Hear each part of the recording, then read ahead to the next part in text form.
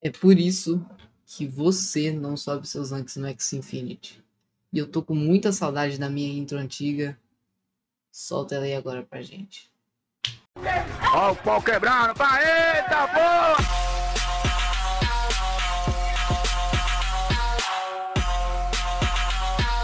Olá, eu sou o Newton e no vídeo de hoje eu vou falar para vocês aqui uma coisinha que eu tô querendo falar já tem um certo tempo, tá?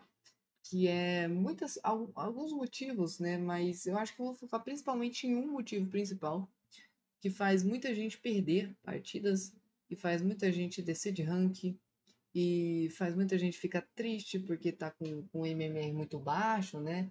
Porque, nossa, tá com um time ruim, tá um time que não sei o quê, e desce de ranking, fica aquela, aquela sofrência, aquela tristeza e tudo mais. Enfim, eu acho que, que vale a pena aí, né? A gente dar uma, uma, uma conversada sobre esse papo. Deixa eu só arrumar isso aqui porque tá me dando agonia. Ok, enfim. Galera, o que, que é o meta? O meta são os X's do meta são a meta do jogo, de uma certa forma. O que, que isso quer dizer? Quer dizer que os, os X's são os X's mais fortes. São os X's que eu vou tirar o, o meu WhatsApp aqui. São os X's que, que basicamente eles estão mais fortes nessa temporada, nessa atualização, com os buffs que eles provavelmente tomaram. E eles estão sendo mais escolhidos, mais buscados por outras pessoas o fato deles estarem sendo mais buscados faz, ele, faz eles ficarem mais famosos, faz eles ficarem mais caros, faz eles. É, faz as pessoas também que, que têm esses exes conseguirem troféus maiores, né? Até porque eles estão no meta. Mas o que, que pega nesse, nesse, nesse rolê todo, né? Muita gente acha que X Infinity gira só em torno do meta. Muita gente acha que o único time que tem potencial para pegar aí 2 mil troféus para mais, é, 2.200, 2.500 mais, talvez, né? São os times que eles veem as pessoas jogando. O que, que é difícil de, de, de ter assim no X? Porque o X tem muitas combinações. O X tem muitas possibilidades de combinações de cartas e, e sinergias e um monte de coisa. E o que, que acontece? é difícil vocês, né, a gente, pensar em uma combinação por si só, mas não é impossível. Então, o que, que a gente tende a fazer? A gente tende a ver o que, o que as pessoas usam e dão certo e quer fazer igual. É errado? Não é errado, não é nem um pouco errado, né? É, se alguém vira para mim e falar, ah, eu quero que você monte um time para mim aí, eu vi um time baseado nessa, nessa forma aqui, queria saber se dá para fazer com tal orçamento, se não der, eu tento dar uma adaptada nesse time para ficar mais parecido com o time que essa pessoa quer, né? Enfim, o que que acontece? É, acima dos 2 mil troféus, acho que a partir dos, dos, dos dependendo do time, vai, ó, vocês têm os times, os times do meta, eles têm um potencial maior de troféus, isso é fato. Porém, tem umas regiões de troféus que alguns times dominam os, os outros, né? Por exemplo, é, time de dois peixes agora está um pouco menos ranqueado e os outros times com répteis estão se posicionando acima. Então vamos supor, time de dois peixes aí 1.300 troféus, time de répteis 1.500. E o time de besta, ele é meio que um anti-meta. A besta é meio que um anti-meta porque os répteis estão muito fortes e o, que, e o cara que mata a besta é... Que mata... Solucei, peraí. O cara que mata réptil é a besta. Então, aí a besta consegue ter uma vantagem melhor do que os peixes. Por isso que o peixe vai para baixo e a besta dá uma subida. Por mais que o peixe seja muito mais forte contra uma besta, tá? Mas aí o que que acontece? É, muitas vezes vocês têm um time legal. Eu já peguei muita consultoria, muita consultoria mesmo, que a galera tem um time legal, tem um time com potencial muito maior do que a pessoa está alcançando. Porém, é, tem gente que não quer reconhecer que o time que a pessoa tá, que, que o time que ele tá usando é um time bom, tá? Mas a pessoa não quer aceitar que ela tem que mudar alguma coisa na consultoria, eh, na consultoria, na, na no jogo, na, na jogabilidade dela, né? É, graças a Deus, isso aconteceu uma, duas vezes, eu acho, com consultoria minha, né?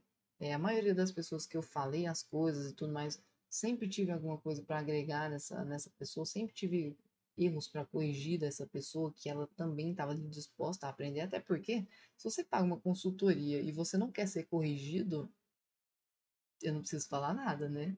Eu não preciso falar nada. Mas graças a Deus isso realmente não, não acontece comigo. Enfim, é, o que que vocês têm que mudar para começar a ganhar mais troféu? Né? Vamos responder logo essa pergunta. O que que vocês têm que começar a mudar para ganhar mais troféu? Primeiro, você pode ter um time horrível. Você pode ter um time horrível. É, tem um carinha aí que o, o, tio dele montou o time, ele veio me, me, me mandar mensagem. Eu até dei uma ajuda para ele de graça, porque eu fiquei com muita dó do cara, porque, meu Deus do céu, que time complicado de se usar, tá? Mas enfim, vamos supor que você não é um cara desses casos. Você acha que o seu time é horrível. Você acha que o seu time é horrível. Mas alguém já disse que o seu time não é horrível. Se alguém alguma vez já disse que o seu time não é horrível, deve ter alguma coisinha aí. Se mais de duas pessoas falaram isso, deve ter alguma outra coisinha também. Então pensa só, é, se as pessoas falam para você, principalmente se for um mentor de uma, de uma escolinha e tudo mais, se essa pessoa fala para você, dá para fazer esse time rodar, acredita. Acredita nisso e põe na sua cabeça que se você não está subindo seus troféus, se você está ali nos 900, nos 700, nos 1000 e o, e o time tem o potencial ali para 1500, 1300, se você está nos 1100, você tem muito espaço para melhorar ainda, tá? Querendo ou não, ali nos mil, gente, nos 900 troféus para baixo tem muito time bom. Tem muito time muito bom. Mas as pessoas não sabem usar acaba que, às vezes, quando eu vou ajudar alguém que está nessa faixa de troféu, eu fico surpreso, porque eu vejo alguns times maiores, assim, melhores, né? Uns times que têm potencial ali para 2 mil troféus, 2.200 troféus. E, basicamente, as pessoas estão lá na faixa de 900 troféus com esse time. Eu fico, cara, como assim? O que, que, que tá acontecendo? Por que, que esse cara tá aqui, entendeu? E aí, o que acontece? Põe na sua cabeça se você tá nessa faixa de troféu, é porque você merece. Ok? Se você tá numa faixa de troféu com o time que roda legal, você merece estar nessa faixa de troféu. Só aceita, sabe? Aquela coisa, você não tem para que lutar contra isso. Você não tem para que lutar contra isso. Só aceita que você poderia estar tá, tá tendo um desempenho melhor, você poderia estar tá se empenhando melhor, melhor poderia estar tá identificando erros que você comete, poderia estar tá mudando alguma coisa na sua gameplay. Por quê? Isso, isso é o principal na hora de começar a subir seu ranking e de se diferenciar de um jogador mediano para um jogador bom, de um jogador ruim para um jogador mediano, entendeu? É, acima, quando, quando a coisa começa a chegar ali acima dos, dos 2.200 troféus, todos os times têm um potencial muito parecido, muito parecido mesmo. Só que o jogador que está ali no top é o jogador que pensa mil vezes à frente dos outros. É a mesma coisa que falar de League of Legends, por exemplo.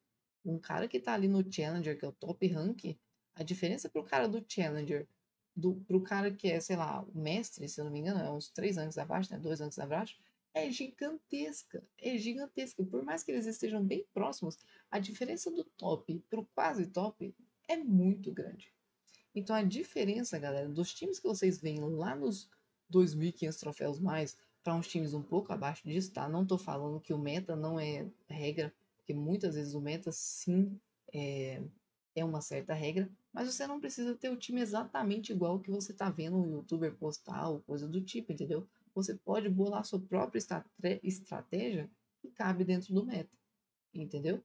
E pode ser até mais barata também, né? O problema é que realmente é difícil ter uma criatividade para bolar tanta combinaçãozinha assim. Enfim, se você quer melhorar no X, tudo se resume ao fato de você compreender que você poderia estar melhorando. Se você faz isso, você com certeza daqui a algum tempo você vai melhorar seu, seu rendimento, você vai subir seus troféus. Basta dar tempo, basta reconhecer que você precisa melhorar e basta jogar sem peso na consciência, sabe? Eu fiz um meio, um método aí lá no Discord para vocês jogarem entre si para treinar e não perder troféus. Se você tiver interessado, entra lá no meu Discord, tá? Tem o Telegram também, qualquer meio de comunicação meu aí, menos o Instagram, porque Instagram não tem grupo, né? Ou o Discord ou o Telegram, você pode chamar a galera que tá lá, mandar o endereço da Roninha, vocês, vocês vão, vão conversar entre si e vocês vão começar a jogar lá. Tem umas abinhas específicas para treinamento e tudo mais, tá? Enfim, eu gostaria de, de deixar isso claro para vocês. Tem muita gente com time bom, mas que não alcança o potencial do time bom. E algumas é, não querem aceitar, algumas realmente não, não põem na cabeça que poderiam estar jogando de forma diferente, tá? E muitas vezes um detalhezinho que você deixa passar em uma partida é a causa da sua derrota, querendo ou não, gostando ou não. Você muito provavelmente você vai perder uma partida por conta de um erro que você não podia ter cometido. O X é um jogo que ganha quem erra menos. Você pode tomar crítico, você pode ter azar, você pode descer 300, 400 troféus de uma vez, mas se você estiver jogando certo, esse, por azar, né, 400 troféus por azar, mas se você jogar certo, você recupera esses 400 troféus. Você não precisa se preocupar com isso, tá? Isso aconteceu comigo, inclusive. Eu já desci ali 400 troféus de uma vez em um dia só. E no outro dia, nos dois outros dias, eu já recuperei essa quantidade de troféus também. E acontece, sabe? Acontece. Tem dia que você dá azar. Tem dia que você não tá bem. Tem dia que você não tá pensando muito bem. Inclusive, eu acho que isso vale vale eu falar um, fazer um videozinho trazendo alguns fatores que podem alterar muito o rendimento de vocês que não estão, não estão relacionados diretamente com X. Está dire diretamente relacionado com você é, em vários aspectos da sua vida. Enfim, é, se você gostou do vídeo, por favor, deixa o likezão, tá? Toda recomendação que vocês puderem me, me ajudar, é, deixando like, se inscrevendo e tudo mais, isso ajuda o algoritmo do YouTube a recomendar o vídeo para outras pessoas. Isso é muito bom para o alcance do meu canal. Caso você queira marcar uma consultoria comigo, seja para montar time, seja aulas para você dar uma melhoradinha no seu PVP também, né? Você pode me chamar aí, né? Também tem live todos os dias às 9 horas da noite, se você quiser trocar uma ideia comigo em tempo real, falar qualquer coisa, ou só, só assistir eu, eu passando raiva, ou então eu, eu muito feliz por estar dando muito crítico no dia, então sempre o X é um, um jogo de altos e baixos, né? E vocês têm que estar preparados para isso. Muitas vezes eu estou, muitas vezes eu também não estou, né? Tem um dia que a gente está com saco saco cheio, né? Enfim, mas é isso. Papai, amo vocês. Fiquem com Deus até a próxima. E eu fui.